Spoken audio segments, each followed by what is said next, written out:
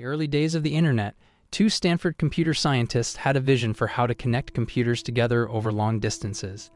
Their name was Leonard Bosack and Sandy Lerner, and they founded Cisco Systems in 1984.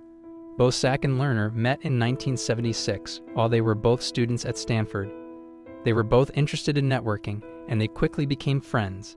After graduating, they both got jobs at Stanford, where they worked on developing new networking technologies. In 1984, Bosack and Lerner realized that there was a need for a company that could sell networking equipment to businesses. They decided to start their own company, and they called it Cisco Systems. The name Cisco was a reference to San Francisco, the city where the company was founded.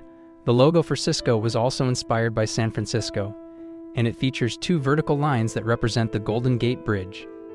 Cisco's first product was a router that could connect two different networks together. This was a revolutionary product at the time, and it helped to make Cisco a leader in the networking industry. One of the challenges that Bosack and Lerner faced was getting venture capitalists to invest in their company. Many VCs were skeptical about the internet, and they didn't believe that there was a market for networking equipment. However, Bosack and Lerner were able to eventually convince a VC named Don Valentine to invest in their company. Valentine was a legendary VC who had backed companies like Apple and Compaq. He saw the potential of the internet, and he believed that Cisco had the potential to be a successful company. With the help of venture capital, Cisco began to grow rapidly. The company's routers were in high demand, and Cisco soon became the leading provider of networking equipment in the world. Technical challenges Bosack and Lerner faced a number of technical challenges in developing their first router. One challenge was that there were no standards for networking equipment at the time. This meant that Bosack and Lerner had to create their own standards. Another challenge was that the technology for networking equipment was still in its early stages. This meant that Bosack and Lerner had to use a lot of trial and error to get their router to work. Business challenges Cisco also faced a number of business challenges in its early days. One challenge was that the market for networking equipment was still small.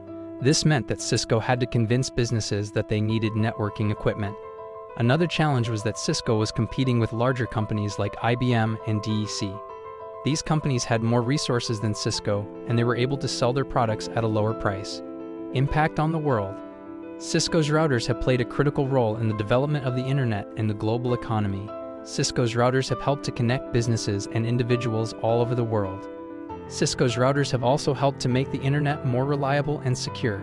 Cisco's routers are used to protect the internet from cyber attacks.